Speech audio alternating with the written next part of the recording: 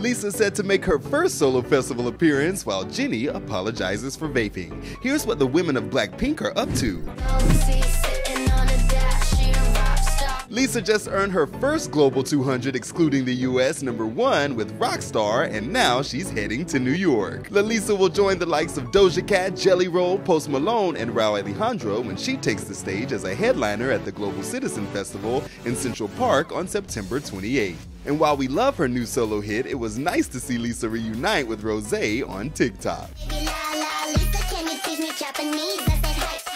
More Blackpink reunions, please. Meanwhile, Jennie issued an apology after some fans were outraged by a video of her vaping.